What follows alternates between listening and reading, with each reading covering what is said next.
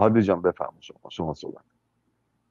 آقا یه سوال داشتم به سبک خودتون به سبک آرمین. آقا این تسخیر صدا و به چه درد می‌خوره؟ حالا این سوال رو می‌خوام پاسخ بدید بعد برم دنبال نکات.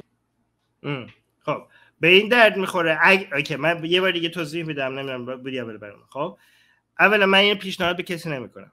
خب من هیچ پیشنهادی ندارم. هر کسی هم اصلا بخواد این کار رو انجام بده خب باید بداند که شانس مرگش بسیار بالا هست. صدا و سیما یه خط قرمز بود برای اینا. خب شما یادتون هست که موسوی اصلا موقعی که به مردم گفت پشین برین خونتون موقعی بود که مردم می‌خواستن برن صدا سیما رو تسخیر بکنن. درسته؟ خب یعنی موقعی که اصلاح طلبا پا شدن گفتن به مردم وایسید دیگه این کار دیگه ادامه نرین جلو موقعی بود که مردم می‌خواستن برن طرف صدا سیما. خب یعنی این حالا نمی‌دونم شاید همبستگی به معنی علیت نیست ولی این یه خط قرمز هست برای جمهوری اسلامی. خب شما اگه صدا صدا ما رو بتونید تسخیر بکنید که نمی‌توانید خب ولی حالا با که نمی‌توانید من میگم که چرا ممکنه برای یه نفر فکر کنید کاربرد داشته باشه حتی اقدام به این کار. خب شما از اونجا ببین شما حتی اگه نتوانید مثلا یه سنار... سناریوی هالیوودیش یعنی که بری اون تو خب و مردم اونجا رو مجبور بکنی که یک پیغ... خودتون لازم نیست مثلا کاربرد مثلا از فنی هیچ قابلیتی داشته باشید. همین که مجرایان اونجا یک بیانیه رو برای شما بخونن برای کل کشور در یک زمان خب این کل میشه یه فراخان یه فراخانی میشه که هیچ فراخان دیگه نمی‌تونه همچی کاربردی داشته باشه خب؟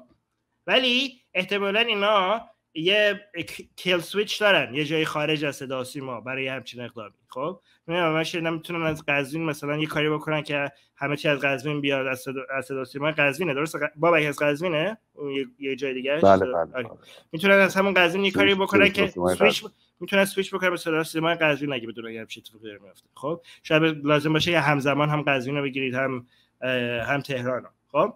ولی همین که شما یه کاری بکنید که روز بعد معلوم بشه یه کاری اتفاق افتاده خب من دیگه این خودش فراخوان میشه حتی اگه موفقم نشید خب؟ و حتی اگه شما حتی یه قدم هم نتونین برین جلو و این اخبارش در بیاد که یه همچین اقدامی شده این میشه یک فراخان که از بیانیه دادن و چه می‌دونم اینا یه چیز گنده تری میشه خب؟ شما می‌تونید اصلا به مردم بگین که آقا من قراره برم فردا ممکن من نبینید. از من این پیشنهاد دوباره به هیچ کی نمی‌کنم. من دارم میگم که اگه بخوایم مثلا بررسی بکنیم چیزهایی که بقیه مثلا دارن در نظر می‌گیرن خب؟ ولی میگم اگه همچی فداکاری دارم می‌کنم دیگه شما اگه نه تو خیابون مثلا راه برید مثلا برید مثلا چه می‌دونم برین راه برید. هیچ اصلا نمی‌خواد شعار بدین نمی‌خواد مثلا یک علامتی دستتون بگیرید هیچ کاری نکنید برید تو خیابون برید تو خیابون. برین راه برید. پیاده روی. خب؟ اصلا یه برو برو مثلا سوپرمارکت یه چیزی هم بخر. همتون بیاین تو خیابون ولی. تازه یه چیزی من چون دارم همچی ما گروه ما چون داره همچی کاری می‌کنه انقدر از لحاظ امنیتی جمع میشن صدا ما که یه مقدار هزینه شما کمتر میشه. دارم همه رو جلب می‌کنم اینجا که شما تو خیابون هر کاری بخواید بکنید. خب؟ حتی اگه موفقم نشیم دارم کارو برای شما آسون می‌کنم. و اگه همچین فراخانی جواب داد و مردم جواب دادن اومدن تو خیابون بخاطر همچین کسی همچین اقدامی کرد حتی اگه موفقم نباشه که به احتمال خیلی زیاد موفق نخواهد بود. دفعه هم اگه کسی بخواد استفاده بکنه از یک همچین اقدامی برای که مردم رو بیاره تو خیابون خواهیم دید که ببینیم جواب میده یا جواب نمیده. برای هر موقع همچین اقدامی بشه حال دفعه بعد می‌تونه یه تارگت دیگه باشه.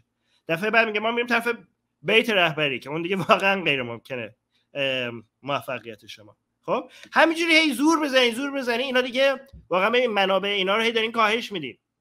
خب اینا بالاخره به همین الانش هم که همچین اقدامایی نشده واقعا اینا رو خسته کردیم. بچه دارن میارن تو خیابون انقدر نیرو کم دارن. خب از لبنان و چه می‌دونم افغانستان و اینا می‌خوان برای شما نیرو بیارن. یعنی واقعا زورشون کمتر از اون چیزی که ما فکر می‌کردیم.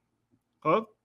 بچه دارن میرن وقتی میگن می‌خوام برم از لبنان آدم بیاریم. یعنی چی؟ ما فکر می‌کردیم که شما همیشه می‌گفتیم ما فقط ده درصد نیرومون رو علیه مردم اضافه کردیم و اصلا می‌تونیم 90 در... وای به روزی که ما 90 درصدش رو بیاریم. اگه اینجوریه پس چرا مجبوری از لبنان داریم میگی بیان آمدن خب؟ یعنی واقعا داریم خز... دارن مثل که با اینکه توانایی سرکوب دارن به یه جایی رسیده که اینا یه ذره فشار بیشتر دیگه نمی‌تونن تحمل بکنن. خب؟ یعنی اگر مخصوصا اگه همینجوری ادامه داده بشه. خب؟ بر همین این باعث و باعث میشه حتی کسایی هم که تو نیروی سرکوب هستن یا از وجدان بیشتر بگن یا خسته بشن. همینجوری که دیدیم رپورت هایی اومد که بعضیشون اصلا رایت نمی‌کردن یعنی دستورا رو جدی نمی‌گرفتن. این قبلا اینجوری نبود. حالا که همینجوری ادامه پیدا بکنه ممکنه اینم بیشتر شه حالا نمی‌دونم نظر چیه؟ زیاد حرف زدم. عادی. از کنم خدمتتون که من اولا فکر می‌کنم ما نسبت به سال 88 تا الان خیلی هم اوضاع دنیا فرق کرده هم اوضاع برای سیستم مستقر جمهوری اسلامی خیلی فرق کرده و اینکه اصلا صدا و سیما مرجعیتش رو از دست داده. یعنی شما الان در ایران کمتر کسی رو پیدا می‌کنید که غیر از همون ده 20 درصدی هادی موضوع موضوع صدا سیما نیست که آخه.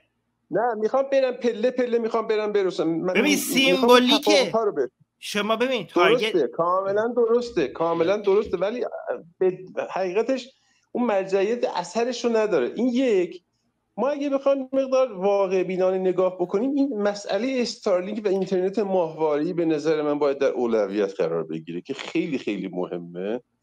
این اینترنت و این فضای تبادل اطلاعات و دیتا. ببین بحث عوض نکن بحث عوض نکن. خب بله اون مهمه. کسی اصلا کسی هست بگه این مهم نیست؟ آخه معلومه این مهمه. خب؟ این که معلومه که مهمه. بحث چه داری عوض می‌کنی؟ خب این که این که صدا سیما اون اون پوزیشن قبلیش نداره اون جای قبلیش نداره باشه. خب تو یک من دارم میگم که شما برای جلب ببین من میگم اتفاقاتی که داره میفته اتفاقاتی که مردم تو خیابون میفته فقط اعلام کردن یه فراخوان اینا دیگه نیست. شما نگاه کنید وقتی که یه همچین اتفاقی میفته برای مسئله امینی این از هر فراخانی بهتر کار می‌کنه. خب؟ درسته؟ یعنی فراخوان دادن مردم تو خیابون نمیاره. اتفاقاتی مثل اتفاقاتی که برای مسئله افتاده مردم تو خیابون میاره. شما اگه می‌خواین این اتفاقات رو به جای اینکه منتظر جمهوری اسلامی باشید که به شما ظلم بکنه این اتفاقات رو دست خودتون بگیرید می‌تونید کارهایی بکنین که اتوماتیک به خود خودی خود میشه یک فراخوان منظورم می‌فهمی؟ خب این این اتفاقات در فضای اینترنت بولد شده در واقع خلق شده اینطور بهت بگم. و خب الان ما الان ما هم الان در فضای اینترنت داریم این اتفاقها رو خب، خلق می‌کنیم همین الان. پس این اهمیت این آزاد بودن و تضمین دسترسی به اینترنت رو نشون میده خب که خیلی مهمه. ولی آقا کسی نیست. ببین که من نمی‌دونم. شما می‌خوایم بیایم بحث بکنید که دسترسی به اینترنت چقدر مهمه؟ آخه مگه کسی هست که بیاد اینجا بگه نیست که اینا ما بخوایم اینو بحث نه دسترسی به اینترنت که خیلی مهمه. مسئله تضمین اون دسترسی. تضمین اون با استارلینک و اینترنت با ماهواره‌ای ممکنه. باش الان با کی یعنی داریم بحث می‌کنیم؟ ما کسی هست؟ باش. نه نه نه من نمی‌دونم. من ببین نه لحظه نه. الان می‌خوای بیا وقت بذاریم سر اینکه چقدر استارلینک اگه مثلا مردم دسترسی به اینترنتشون تضمین داده بشه بهشون می‌خوای بیا بگی این چقدر مهمه؟ علیه کی می‌خوای بحث بکنی؟ آیا کسی هست که ندونه که چقدر این تاثیر گذار خواهد بود؟ الان؟ اینجا؟ که با بخوام در این خب، بحث بکنیم. نه بحث نمی‌خوام بکنم. من میگم اون کسایی که در خارج از کشور هستن یا فعالیتی می‌کنن به نظر من یکی از نکات تمرکزشون باید این باشه که این خدمات اینترنت ماهواره‌ای در ایران تضمین بشه. یعنی ببین همین حتی همین حرفی هم که داری می‌زنی. ببین این ستارلینک خب ستارلینک موضوع بحث. چرا موضوع بحث شد؟ چرا یه فشاری اومد ستار... به خاطر اتفاق شبکه های اجتماعی. نه اصلا متوجه نمیشه من خب چه بگم. خب؟ به خاطر محسا امینی بود که الان این بحث شده. اینکه ایلان ماسک ازش تقاضا کردن که ما اینترنت لازم داریم. دفعه قبلم که ایلان ماسک یه واکنش نشون داد که شاید یه کاری بکنم خاطر همچه اتفاقی بود. الان که بیشتر به نظر می‌رسه که ممکنه همچه اتفاقی بیفته به خاطر محسا امینی بود. درسته؟ پس این فقط فقط حرف ما اگه فقط دست حرفای روی اینترنت بود که ما خیلی وقت داریم درباره براندازی حرف می‌زنیم.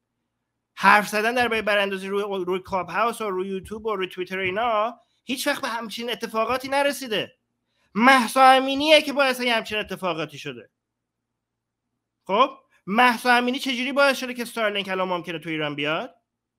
ما باید این این اتفاقات رو به جای که منتظرش باشیم به جای که منتظر جمهوری اه جمهوری اسلامی بذاریم یه جرم بعدی که انجام داد یه زور دیگه هم بتونیم بزنیم ستارلینک رو مثلا بیشتر روش بیشتر توجه. شما هر چقدر هم هشتگ بزنید خب باعث هشت باعث هشتگ مثلا 100 میلیونیه مثل مهسا امینی نمیشه. اون اتفاقات که باعث یه هشتگ یه ترند شدن 100 میلیونی مثل مهسا امینی میشه. خب این اتفاقات رو شما باید افزایش بدین ولی نه نه اینکه جمهوری اسلامی یه بلای سر کسی دیگه بیاره. دست خودتون باشه. خودتون این اتفاقات افزایش بدین. یعنی به جایی که دفاع بازه ب... یعنی منتظرش باشین بگیرین دست خودتون. حتی اگه استارلینک هم می‌خوای راهش شاید. من پیش دوباره من پیشنهاد به چیزی نمی کنم من فقط دارم آنالیز می‌کنم که چی منجر به چی میشه. من به هیچ کسی هیچ پیشنهادی نمی کنم